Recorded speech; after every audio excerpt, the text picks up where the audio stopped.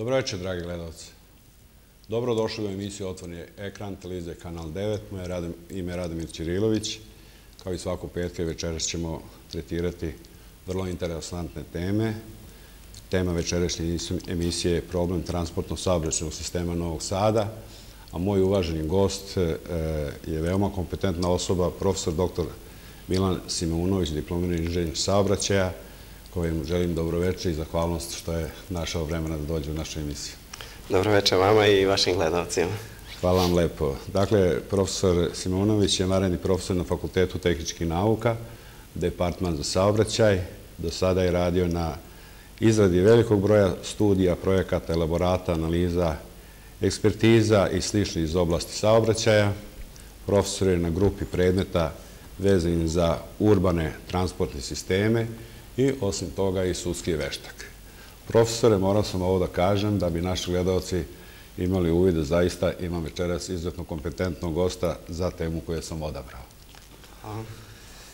Dakle, e, večeras ćemo razgovarati ovaj, o interesantnim, e, što kažu, pitanjima i na neki način ovu emisiju večerašnju naslanjam na prethodnu emisiju koja se zvala Bezbednost potrošača u javnom ovaj, prevozu, pa smo to tretirali sa aspekta usluga javnog preduzeća, gradsko saobraćeno preduzeće.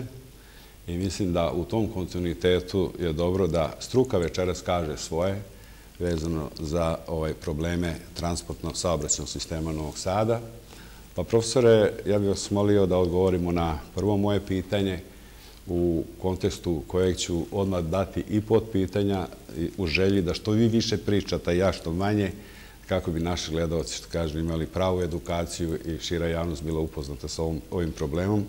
Dakle, prvo pitanje, rast saobraćaja u Novom Sadu, e, mreža puteva i ulica i problemi protoka motornog saobraćaja, problem biciklističkog saobraćaja, problem parkiranja i problem javnog prevoza putnika, što ćemo večeras tretirati kao probleme u gradu. U ovoj celini želo bih da obuhvatimo e, u nekoj meri i zaštitu životne sredine. Dakle, profesore, eto sad ja se postavljam u ulogu onom kada vi studentima se obraćate, pa vam postavi što kažu ovaj podpitanja. Dakle, rad saobraćaja u Novom Sadu, jedno ovako ovaj, e, retrospektivu koja je interesantna za gledalac i širu javnost. Pa rad saobraćaja je zaista dinamičan u poslednjem, e, poslednjih deset godina, tako kažemo, mada i nešto je pre započeo sam rast. On je prevashodno vezan sa porastom broja putničkih automobila koji su registrovani na području Novog Sada, odnosno imamo porast stepena motorizacije koji je neverovatan, posebno u poslednjih deseta godina, znači imamo rast kada smo imali otprilike nešto iznad 200 automobila na 1000 stanovnika, sada se već približavamo ciframa od 300 automobila na 1000 stanovnika. Mi smo e, za potrebe izrada različitih projekata i studija u određenim vremenskim presecima radili e, brojanja i meranja saobraćaja na uličnoj mreži Novog Sada i to, kako mi zovemo, ono što e, predstavlja pregradne linije posebno interesantno, to su mostovi i tamo gde se saobraćaj praktično mora usmeriti da bi prešao sa jedne obale na drugu i e, evidentan rast je gotovo e, veći od 50% u poslednjih 10 godina. Znači sve to ima za posledicu da imamo sve veće optarećenje ulične mreže i e, prvo što će svaki građanin zapaziti i svaki stanovnik Novog Sada da imamo pojave takozvanih redova čekanja, odnosno jednostavno rečeno gužvi, posebno na tim kritičnim delovima uličnih mreža, tamo gde su i e, najmanji mogući protoci, uvek se i javljaju redovi čekanja i oni su posebno vezani za određene vremenske preseke u toku dana, e, vezano za aktivnosti samih stanovnika, znači kao što su odlazak na posao i povratak, znači u tom jutarnjem vršnom optarećenju imamo e, veliki broj automobila na uličnoj mreži i u popodnevnom optarećenju imamo. Znači, Novi Sad, što se tiče same ulične mreže, ima nasleđenu uličnu mrežu u tom starom delu ili urbanom delu centralnog područja grada i ima nešto noviju mrežu koja je, e, da kažemo tako, planirana mreža na delu novog naselja i e, novim delovima izgrađenih e, područja Novog Sada. Kada se pogleda mreža puteva u neposrednom okruženju, znači mi imamo strateški nekoliko važnih putnih pravaca. Nažalost, svi ti putni pravci se stiču u samom gradu. Znači, da li sad prolaze obodnim delom grada ili ali uglavnom zalaze u urbana gradska područja i to nam stvara dodatne probleme. Znači, jednostavno, u narednom periodu treba praviti strategije e, e, obilaznica oko Novog Sada, odnosno na kakav način možemo rasteretiti e, znači, i taj tranzitni saobraćaj pomeriti da se ne dodiruje sa samom uličnom mrežom grada. Izvijem se, profesor, u tom kontekstu šta je planska dokumentacija i dokle se odmaklo i šta bi u narodnom periodu trebalo biti prioriteti i kako ih realizovati. Mi naravno spoložete sa određenim studijama koje, e, da li su gradski čelnici upoznati sa svim tim, kako sarađujete na nivou resornih, da kažem tako, ovaj, uprava po ovom pitanju? Pa, e, gradske uprave e, imaju izuzetan potencijal u kadru inženjera, znači praktično gradska uprava za urbanizam ili Zavod za urbanizam imaju određen broj inženjera koji su praktično radili na kompletnoj planskoj dokumentaciji grada Novog Sada u dužem vremenskom periodu. Znači, osnovni dokument na koji bi trebalo da se naslone svi projekti je vezan za generalni plan grada, što se tiče infrastrukturnih objekata u oblasti izgradnje saobraćajnica i mostova. Međutim, problem je taj što generalni plan grada Novog Sada je praktično kroz duži vremenski period imao e, planirane investicije, odnosno planirane objekte koji će se graditi u infrastrukturi, ali do realizacije nije dolazilo, nažalost. Koji je razlog? Pa razlozi su različite prirode. Sem finansijske prirode. E, finansijski razlozi su prevashodni, međutim, mislim da nije samo finansijski aspekt ključ, nego bi trebalo raditi na tome jer pojedini infrastrukturni objekti se mogu izgraditi i putem različitih modaliteta finansiranja, da to ne bude finansiranje vezano samo za budžet grada, nego da bude iz nekih drugih izvora finansiranja. Ja bih vas malo, malo što kaže, zamolio bih vas da malo to pojasnite, obzirom da se stalno izvlačimo na e, nedostatak novca. E, eto kako vi vidite kao stručnjak e, iz ove oblasti da se može rešiti da li partnerstvom ovaj, sa e, potencijalnim, što kažu, ponuđačem, obzirom da ne možemo čekati da javna i javna komunalna preduzeća reaguju preko osnivača, zato je izmenjen zakon o komunalnoj delatnosti gde je predviđeno strateško partnerstvo, pa u tom smislu ovaj, da li ima nekih primjera i ima li ponuda koliko vam je poznato na taj način da se ovi problemi reše? Pa javna privatna partnerstva su jedan od sjajnih modaliteta za e, rešavanje problema infrastrukturnih objekata kada postoji obostrani interes e, i e, javnog i privatnog kapitala, da tako kažem da se određeni infrastrukturni objekti grade. Ja imam neka iskustva jer smo započeli neke aktivnosti vezane ne u Novom Sadu, u nekim drugim gradovima vezano za javna i privatna partnerstva gde privatni partner praktično omogućava finansijska sredstva sobstvena e, i ulazi u partnerske odnose sa gradom koji e, na određeni način učestvuje u svemu tome, da li kroz davanje same lokacije, koncesija na određeni vremenski period, u eksploataciji određene vrste objekata koji mogu doneti neku ili određenu izvesnu korist i to su najbolji modaliteti po mom mišljenju da se izgrade određeni infrastrukturni objekti. U prethodnom periodu je bilo nekih inicijativa i pokušaja da se ostvare javne ili privatna partnerstva, međutim, uglavnom smo zapinjali na tome, da tako kažem, zbog nedostatka dokumentacije ili projekti nisu e, provedeni do kraja ili ta cela procedura da bi se u tako nešto ušlo jednostavno nije, e, nije urađena. Pa se ne može očekivati da sada privatni partner dođe i uloži svoja finansijska sredstva, a da nema određen stepen sigurnosti.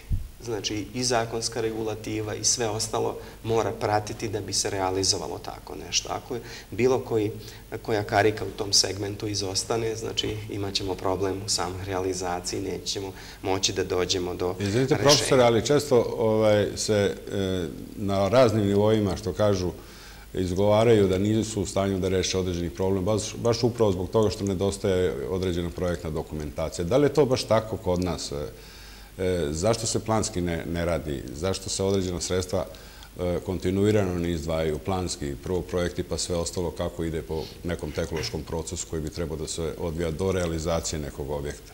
Imamo li mi projektnu dokumentaciju? Imamo mi projekte o, o, o čemu mi večeras pričamo?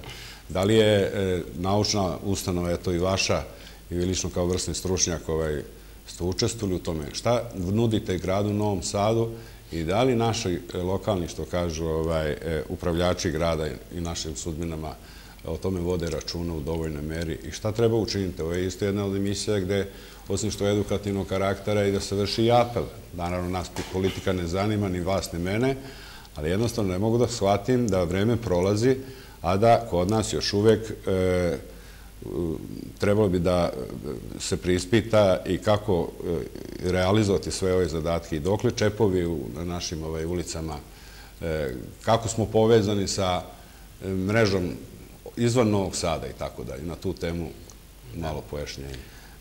Ja sam malo pre rekao da često puta nedostaje nešto u samoj dokumentaciji, međutim nije to baš uvek tako da nedostaje, često nedostaje volje da se nešto realizuje do kraja i da se neki projekti zaista i, urade i do konačnog ili finala, praktično da ga završimo.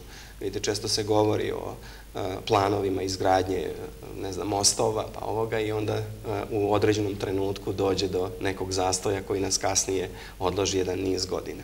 Znači, ovo su sve ozbiljne i strateške stvari koje grad Novi Sad treba da uradi od naslanjanja na državnu putnu mrežu u neposrednom okruženju, pozicija i broja mostova na Dunavu, znači to su sve strateške stvari koje se ne mogu raditi ad hoc niti u kratkom vremenskom periodu. Znači, potreban je određeni duži vremenski period da se pripremi kompletna dokumentacija, jer kad pogledate generalni plan ovog sada do 2021. godine, e, gotovo identičnu situaciju smo imali u prethodnom planu što se tiče broja mostova, recimo, na Dunavu.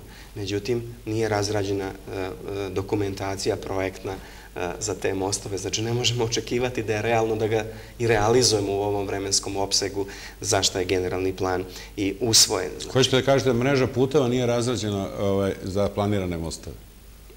A, nije razrađena ni mreža puteva, niti sama projektna dokumentacija za mostove. Ne mogu da verujem.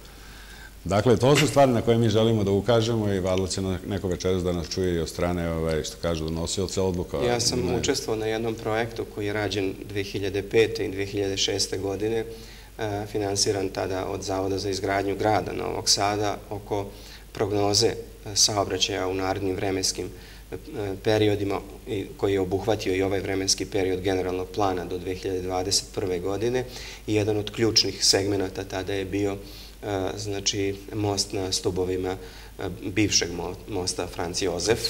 Znači, projektna dokumentacija je praktično u odmakloj fazi za taj most isključivo, znači, međutim, kasnija i rešenja koje su bila na javnom uvidu i naravno neka tehnička rešenja su bila teško primenljiva, znači koje se tiču Beogradskog keja, podizanje saobraća sa keja na most i tako dalje, tako da ima tu e, dosta stvari. Kasnije se jednostavno prestalo govoriti o tome e, i nekako su inicijative nestale. Šta bi sa žičarom koja je planirana da ide ovaj... Pa isto tako je e, slično i prošla žičara s tim što tamo nije razrađivana dokumentacija na ovom nivou projektne dokumentacije jer od trenutka kada nastane neka ideja za, za određeni infrastrukturni projekat da se radi, najpre potrebno napraviti neka prethodna istraživanja ili neke prethodne analize koje prethode da vidimo da li to uopšte ima smisla kao ideja. Mi smo zbog toga to i radili, neke prethodne analize. Potom se tek ide u razradu generalnog idejnog projekta, pa kada se uradi generalni idejni projekat, treba uraditi prethodnu studiju opravdanosti da vidimo da li to će dati efekte koji se očekuju, pa tek tada praviti glavni projekat na osnovu koga se mogu izvesti radovi. Znači, Iz ovog se ovako može zaključiti da lokalna samouprava ne posvećuje dovoljno pažnje ovaj, e, struci da, što kažu, ne animira vas e, određeni broj, što kažu, stručnih ljudi i samog univerziteta, stručnih instituta i tako dalje, Ne mogu odbornici koji su nekompetentni da donose odluke o nečemu što mora struka pre svega da kaže. Pa lokalna uprava pokušava da kroz budžet realizuje određene projekte i zaista oni planom budžeta obuhvataju neku projektnu dokumentaciju koja bi trebala u narodnom periodu da se izradi. I takva dokumentacija se izradi, međutim, nažalost, najveći deo te izrađene dokumentacije nikada ne doživi da bude realizovana. Znači, sada je problem što ne možemo samo napraviti jedan korak i tu stati. Znači, dokumentacija se mora razrađivati do... Planski i u kontinuitetu. U kontinuitetu do potpunog okončanja. Ulična mreža grada, što su, ovaj, je taka da u posljednje vreme zaista počinjemo polako da ličimo i na Beograd. E, uska su grlo pojavljuju i na koji način ih rešiti. Malo pre smo razgovarali, ono nezvanično, kolegina od se pitala šta beše sa zelenim talasom što tiče semafora. Nekad je to bilo i moguće, pojasnite nam da to sad nije moguće i kako, na koji način rešiti ta uska grla u gradu. Pa svakako da je pojedine e, gradske saobraćajnice moguće e, postaviti u koordinaciju rada svetlosnu signalizaciju ili zeleni talas, kako se žargonski kaže. E, međutim, South Center ima mogućnost upravljanja, jer na svim signalisanim raskrcama su postavljeni kontroleri, to su uređaji koji omogućavaju da se vrši izmena planova. Međutim, osnovni problem je što taj upravljački centar nema informacije o trenutnom saobraćaju, kako bi se izradili algoritmi koji bi praktično podešavali rad e, semafora, da najjednostavnije kažem da bi me gledalci razumeli, podešavali u zavisnosti od saobraćaja koji trenutno imamo na saobraćajnicama, a ne da postavimo fiksne planove koji će raditi u nekim vremenskim periodima bez obzira kakav saobraćaj. Da, lajci kažu i postoje kamere, postoje brojač, ali to apsolutno nije pa, moguće Postoje uh, kamere kao video nadzor, ali praktično to nisu senzorske kamere koje rade brojanje saobraćaja i da imamo praktično kompletan upravljački centar koji bi to mogao da podrži. Znači, e, to je moguće realizovati i zato nije potreban dug vremenski period. Kažete mi, profesor Simonović, pa koliko je meni poznato, neki projekat postoji? E, e, pa bila je inicijativa. Ili je u izradi, ili nije isfinansiran, nije zaživeo? Bila je inicijativa za izradu takvog jednog projekta za nadzor i upravljanje kompletnim e, motornim saobraćajem na teritoriji grada Novog Sada. Međutim, e, e, ti pokušaj koji su bili uglavnom ljudi iz struke, jer malo pre sam pomenuo da i Zavod za izgradnju grada bivši, i Zavod za urbanizam i E, e, znači drugi, e, druga ta javna preduzeća gradska imaju sjajan potencijal u inženjerima i sa aspekta struke svi su bili za tako nešto, međutim u tom trenutku nismo imali podršku od ljudi koji su odlučivali o realizaciji takve, vrste, takve vrste projekta. Pa to je upravo posljedica što se kad se pregovara eventualni sa strateškim partnerom, onda se razgovara sa strukom, da pri tome u sastavu tih nekih delegacija nema mešovite, da kažem tako, stručno-političke delegacije, odnosno predstavnika onih koji će donositi odluke. Pa onda vi kao stručnjaci sa nekim potencijalnim poslovnim partnerima iz inostranstva džaba pričate. Pa, e, I za što vam je satisfakcija? Da, delimično ste u pravu. E, zaista e, bi to moralo da funkcioniše jednostavno tako, jer sve drugo smatram da je pogrešno jer ovu oblast ne može niko bolje poznavati od same struke, jer struka i razvija ovu oblast i mi nemamo nikakvih dilema oko toga šta raditi. Zaista nam treba podrška znači, svih organa koji odlučuju na nivou grada i pokrajine kako bismo realizovali određene vrste projekata. U protivnom ih ne možemo realizovati jer će uvek e, e, tamo e, kad bude vreme odlučivanja neko odlučiti drugačije bez obzira šta struka rekla. Naravno, kada ste govorili vezano za ove, da kažem tako, saobraćanje čepove po gradu, tiče frekvencije saobraćaja i posledica i uzroka koje ste lepo objasnili, Ja bih tu dodao još e, problem održavanja saobraćajnica u samom gradu Novom Sadu, da se tu malo osvrnemo, jer gledalci naši, poredski obveznici, svi mi vidimo neku nelogičnost decenijama. Jedna ista stvar se ponavlja što je necivilizovanog karaktera. E, zašto? vi ste završili održavanje ili rekonstrukciju neke saobraćajnice ili izgradili, ja sam poslao neku ekipu da uradi neku komunalnu infrastrukturu pozemnu, tako što ću raskopati već neki, neki dan asfaltiranu ulicu, e, pa će posle doći ovaj iz PTT ovaj, organizacije, pa će on isto da prokopava, pa će se tražiti koje kakve saglasnosti za raskopavanje javnih površina, vraćanje u prvobitno stanje i to je zaista ruglo, prosto je nemoguće e, pomisao da mi nemamo ažuriran katkom komunalne podzemne infrastrukture i da je tako loša sinhronizacija između investitora, izvođača radova i nadzornike organe. Pa mislim da je to pre svega posledica sinhronizacije svih komunalnih službi grada u smislu E, njihovog dela posla na, koji između ostalog obuhvata da moraju sa svojim instalacijama prolaziti ispod saobraćenih površina ili saobraćajnica. To se nažalost često dešavalo u gradu Novog Sadu, iako to nije moja uža oblast da sada ako imamo rekonstrukcije kolovoza da u tom trenutku se ne uradi rekonstrukcija svih instalacija koje se nalaze kolovoznoj površini, e, pa kasnije moramo ponovo raskopavati e, saobraćajnice. I, I mi, poradski obveznici, jedan te isti posao plaćamo tri puta i više puta. Pa sad ja ne znam taj deo Moramo to komentarisati, ali da... Čisto da je zaintrigiramo one koji donose odluke, koji e, direktno rade. Pretpostavljam da je tako i da ste u pravu u tom delu. Nažalost, poznatim da, da, da se dešavaju takve stvari i da jednostavno, kažem vam, mišljenja sam da treba uspostaviti potpunu koordinaciju rada svih službi, gradskih svih komunalnih preduzeća kako bi se izbegle da radimo više puta istu stvar, da tako kažem. Jer ako bismo imali tu jednu koordinaciju, mislim da da, da bi se takve stvari mogle I ta ista sredstva da bi se mogla, na primjer, uložiti u biciklistički saobraćaj, koje je moje sljedeće pitanje, problem biciklističkog saobraćaja, da li je bicikl u Novom Sadu dovoljno zastupljen kao preozno sredstvo, interesantne podatke ako imate da nam kažete, obzirom da smo dobili određena sredstva, koliko ja znam, ova e, nasip što se sada asfaltira iz heroja Pinkija prema Begeču, to je finansirala ako beše ovaj, Evropska unija. E, međutim, sredstva su odavno dobijena, vidim da se tek krenulo raditi pre nedelju dve dana. Kakva je situacija e, vezana za biciklistički saobraćaj u kontekstu ove kompletne večerašnje priče i teme? Pa, ozbiljan potencijal postoji u biciklističkom saobraćaju na području grada Novog Sada. Međutim, e, e, veliki problem nam je infrastruktura biciklistička.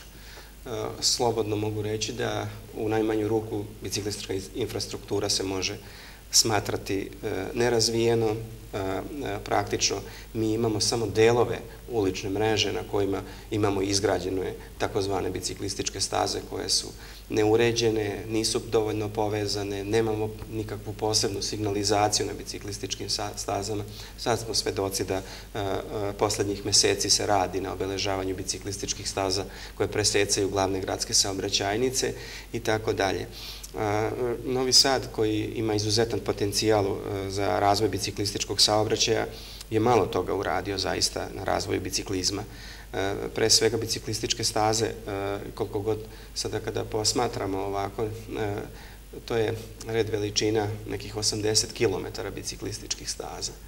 A ono što je generalni plan grada kao postavio do 2021. godine neuporedivo sa ovim što danas imamo. Koji je odnos? Pa ja sad ne mogu tačno reći koliki je odnos u kilometrima, zato što su planovi, e, nisam premeravao. Ali daleko se zaostaje.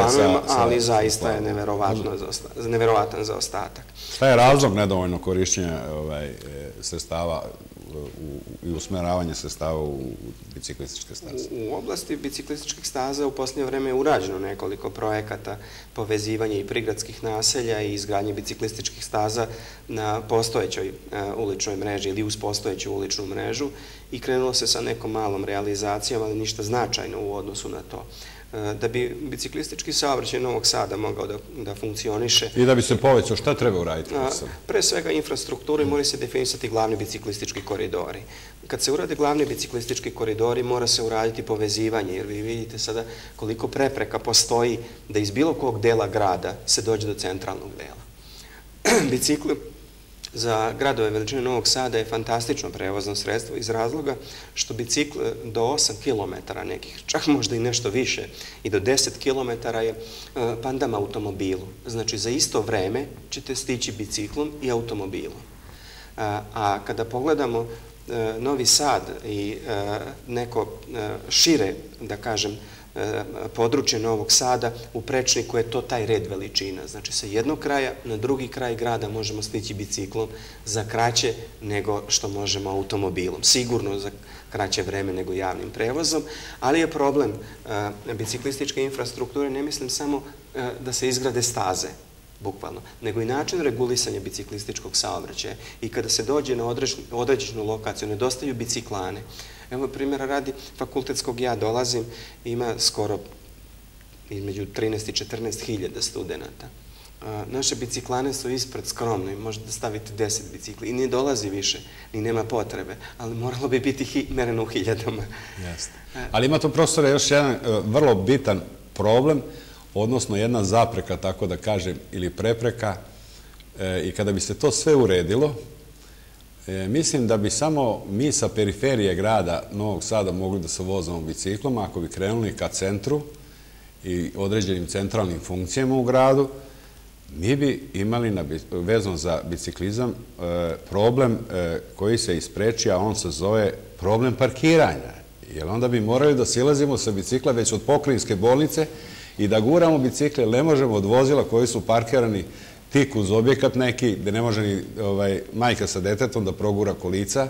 Pa u tom smislu, odmah moje sledeće pitanje, problem parkiranja u Novom Sadu, koji je katastrofalan, koji su osnovni problemi u, ovaj, u parkiranju na području grada Novog Sada. Posebno ste kompetentni, jer ste vi stručnjak koji je e, radio na projektu kada se e, dogovaralo na nivou lokalne samuprave da se sektor parkiranja izdvoji iz javnog komunalnog preduzeća put i da postane posebno javno komunalno preduzeće parking servis. Tu je zaista situacija više nego katastrofalna. Molim vaše viđenje. Pa, e, zaista naš fakultet je radio studiju 2004. i 2005. godine e, kako bi se uspostavio e, sistem parkiranja u Novom Sadu i tada je i predložen ovaj zonski sistem koji danas imamo, znači sa tri tarifne zone, koji je kasnije razrađivan od samog javnog komunalnog preduzeća Parking Service. I ideja je bila, e, meni je žao što e, nemamo snimke kada smo napravili prezentaciju tog projekta, šta je tada rečeno, odnosno i tad sam ja i prezentovao taj projekat, da funkcija naplate parkiranja jeste u cilju uspostavljanja komunalnog reda u toj oblasti.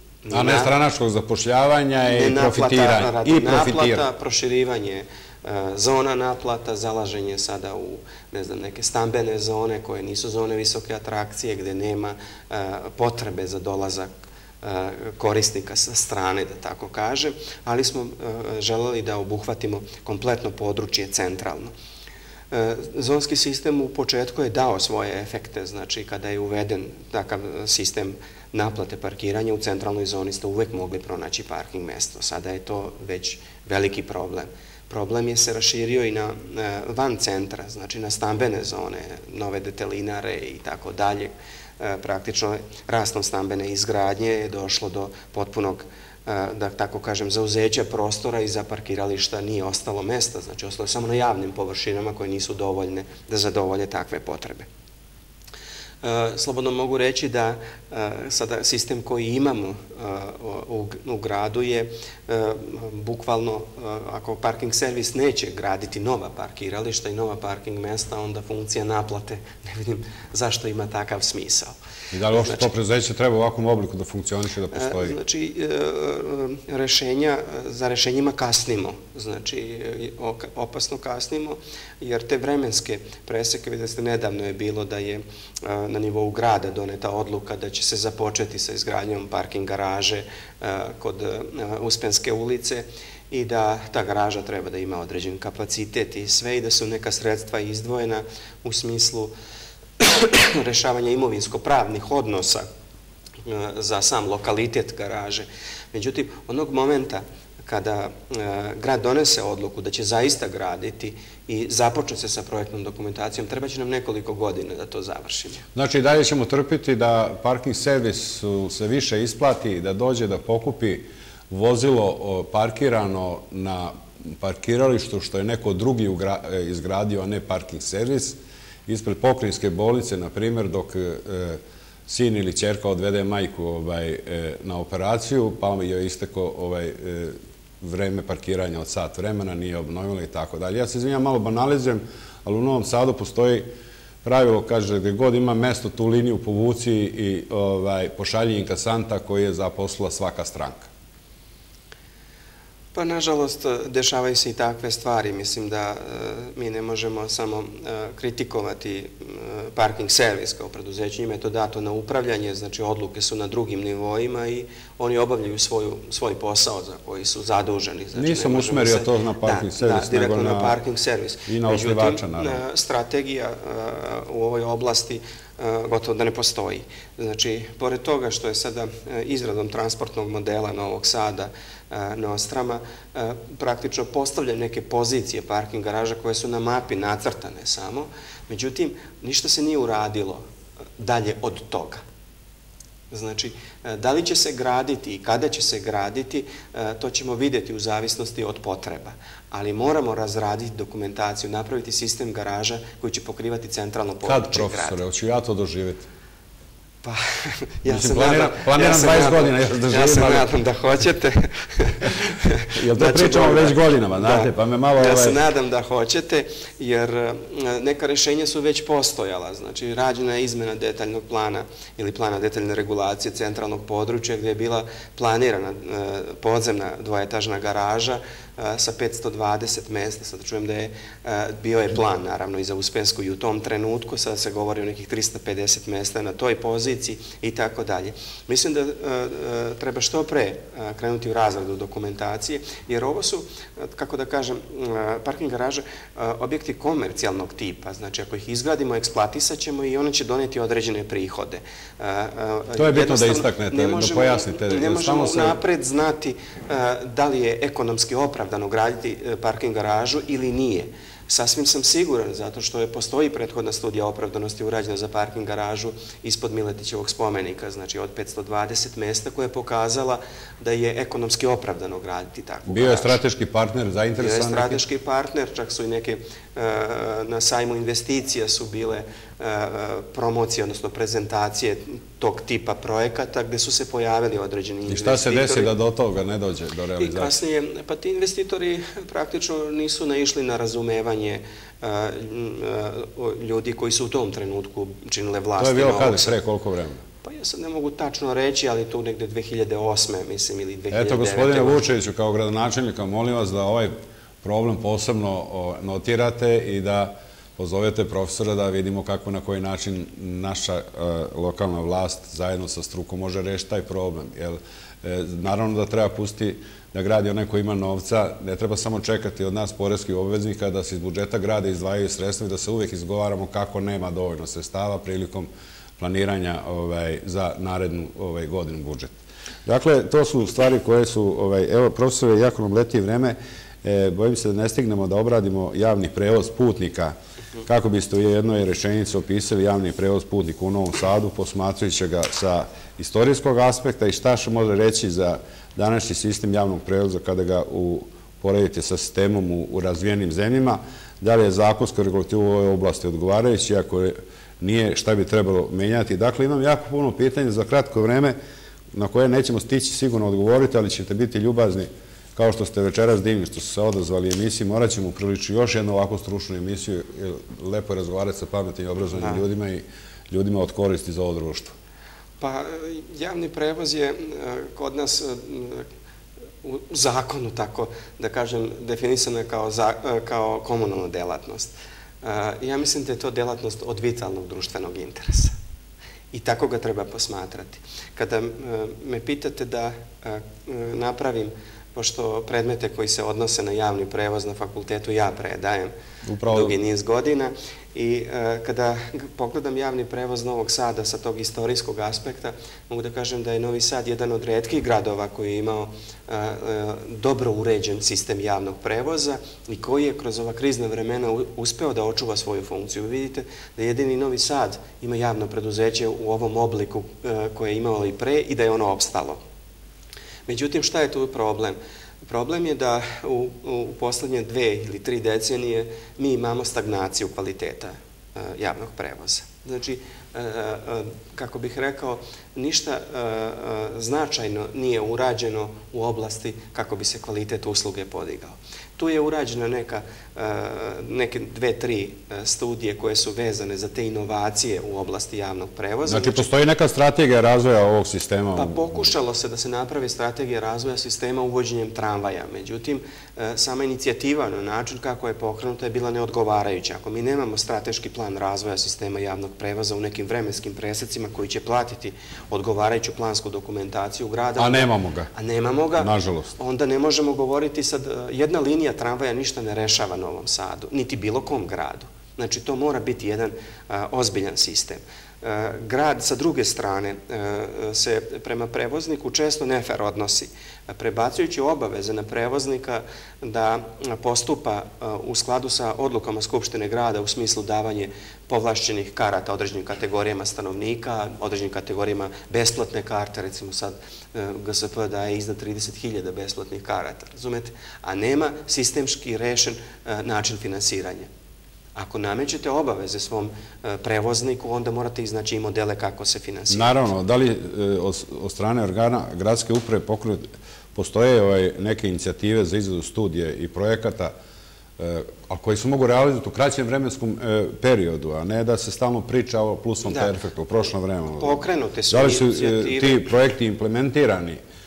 Kakva je tu situacija? Da li se može očekivati u 2018. godine nešto konkretno iz tih projekata i, i strategije? Mislim da 2018. se neće ništa desiti u sistemu javnog prevoza. Postoji projekat tarifnog sistema i sistema naplate sa jednim velikim informacijonim sistemom koji je urađen 2008. i 2009. godine. E, sad ja ne znam tačan broj tendera koje nisam pratio, su raspisivani i praktično svi tenderi su propali.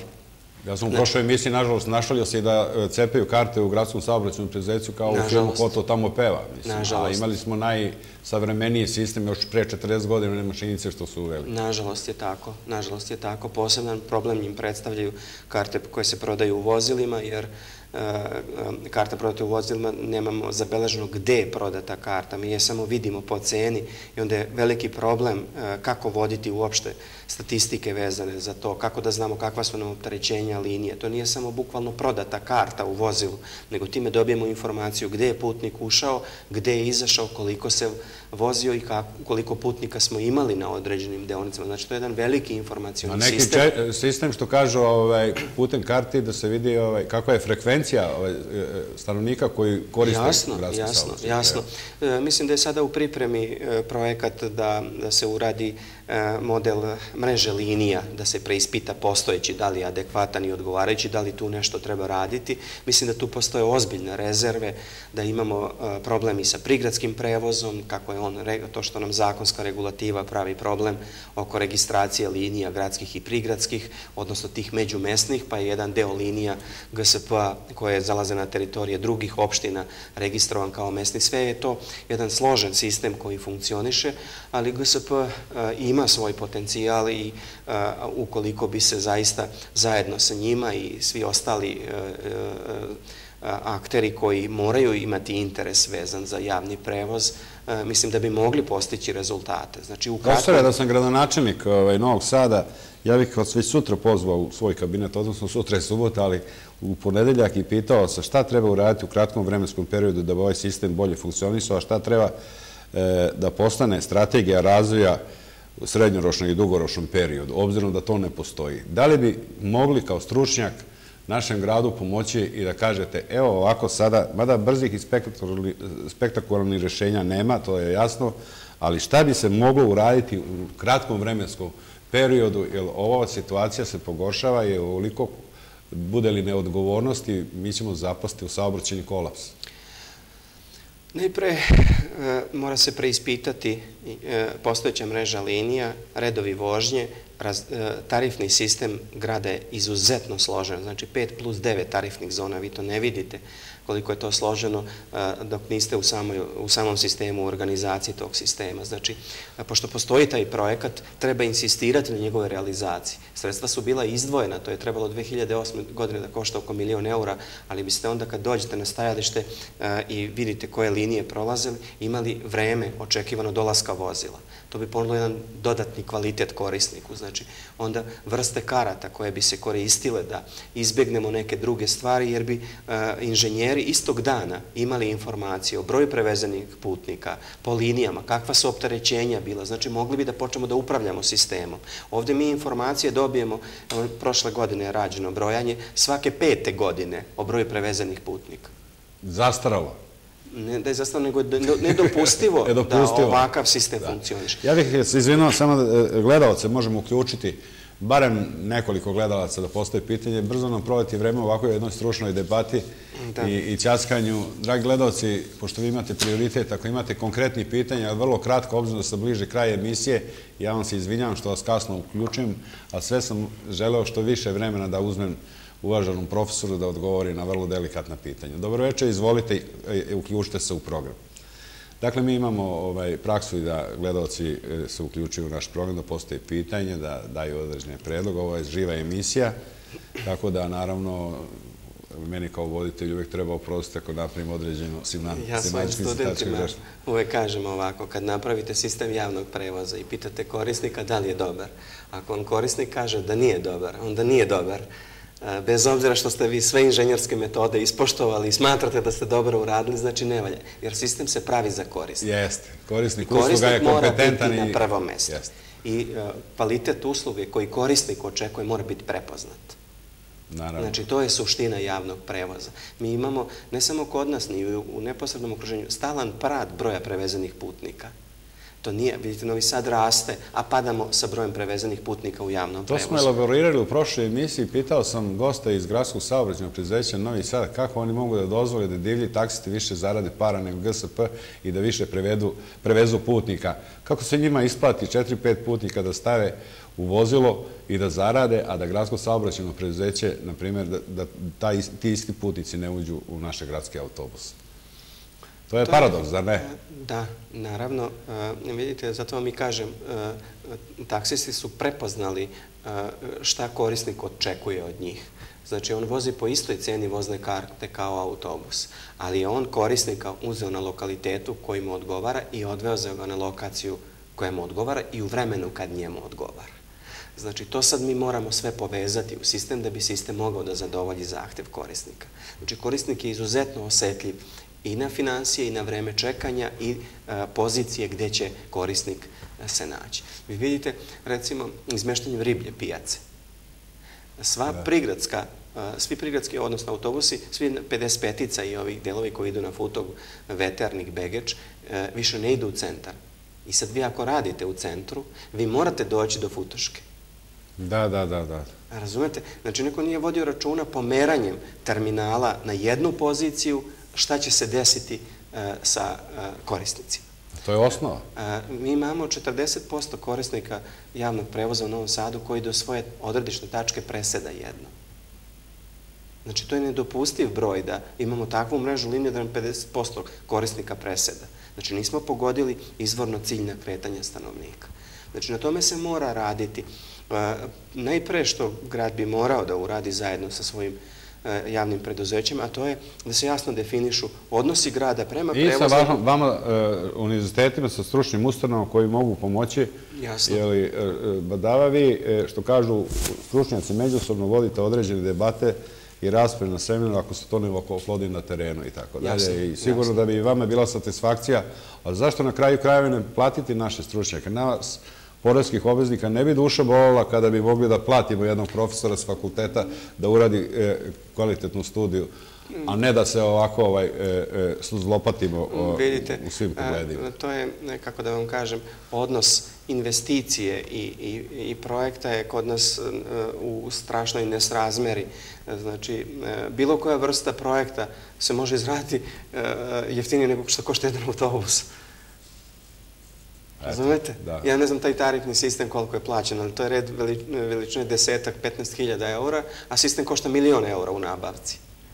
Jeste. Dok se neko od gledalca slučajno ne, ne javi, ako nisu otišli na neke od realitija, ovaj, e, profesore, htio sam da e, vas podsjetim na jednu, ovaj, jedno pitanje upravljanje e, saobraćajima putem e, dispečerskog centra, ovo što smo rekli, da malo pojasnite vezano kako bi se moglo usporiti saobraćaj, kada bi se određeni indikatori stavili na, da, u praktičnom pa, tehničkom e, smislu da pojasnite. Kako da vam kažem, e, ovo što sad Novi Sad ima, to je statičan sistem.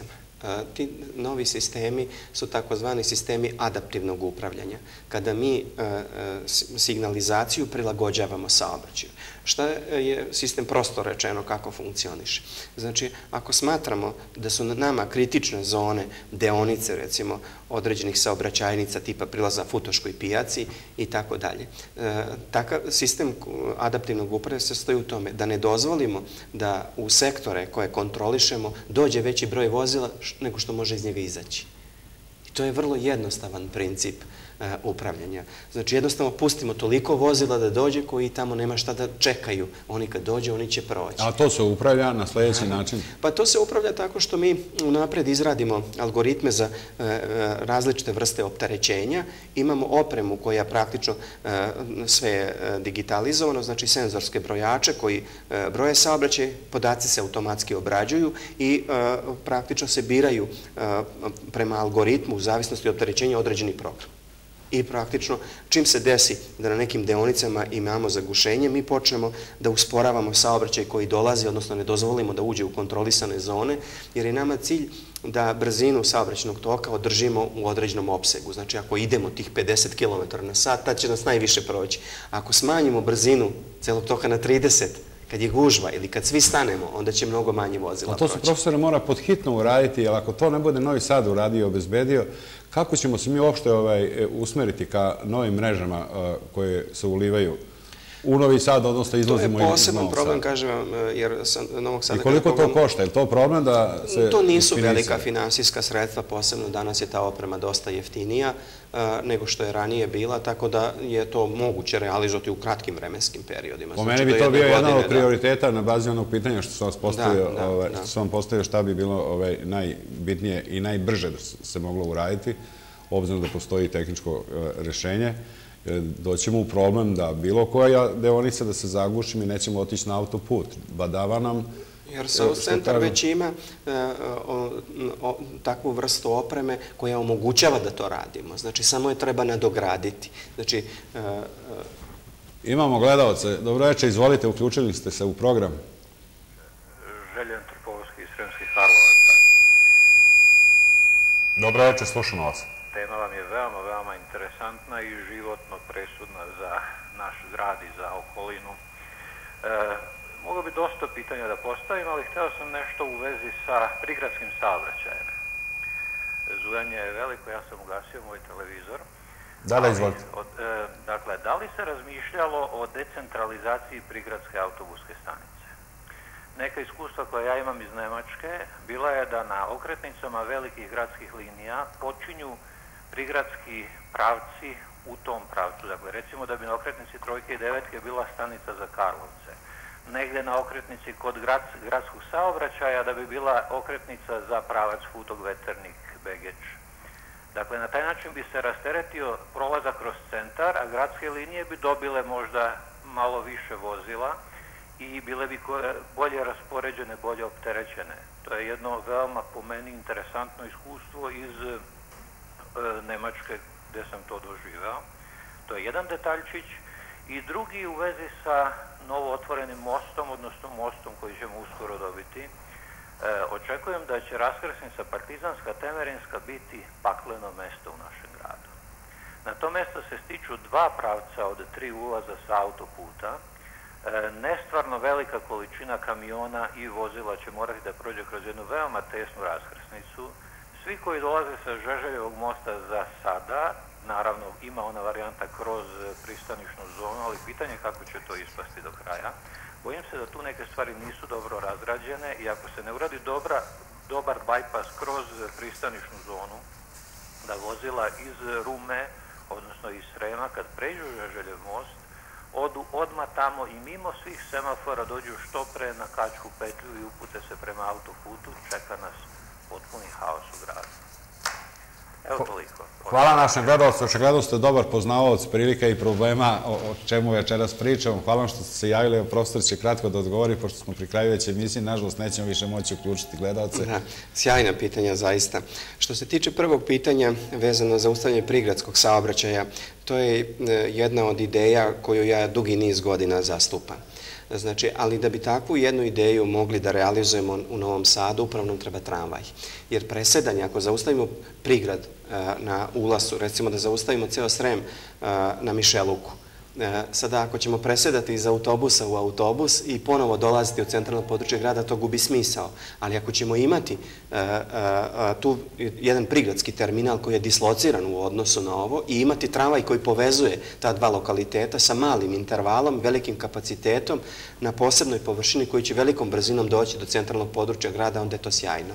Znači, e, tada ćemo zaustaviti e, recimo 120 prigradskih autobusa koji neće stvarati buku, zagađenje i sve ostalo i druge sjajne efekte ćemo postići duž bulevara. Jer sada duž bulevara u vršnim opterećenjima prolazi među 70 i 80 autobusa u jednom satu.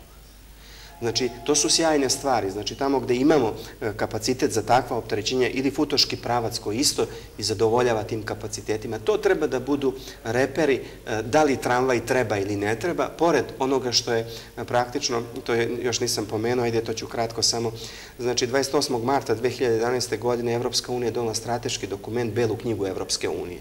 Jedna od ključnih isticajnih teza jeste da se u javnom prevozu do 2050. godine ne smiju koristiti motori koji koriste fosilna goriva. Znači ide se na zagađenje kako bi se to smanjilo. Naravno, to je ono što smo hteli da, da. pričamo malo oko... Ovo drugo pitanje, to je potpuno jasno. Znači kad pogledate mrežu državnih puteva, znači put, e, državni put e, prvog B reda broj 12 i broj 21 se stiču upravo na raskrsnici Temerinska, znači e, broj 12 je Subotica, Sombor, Bačka Palanka, Novi Sad, Zrenjanin, znači jako optarećen pravac i drugi pravac je od praktično Novog Sada, Šapca, Valjeva, Kosjerića Poštovani profesore, doktore Simonović, toliko mi je žao što ne traje ova emisija, što nemamo termina, još sat vremena, evo, gledalci bi e, sve vreme su pokušavali da nas dobiju, ne mogu.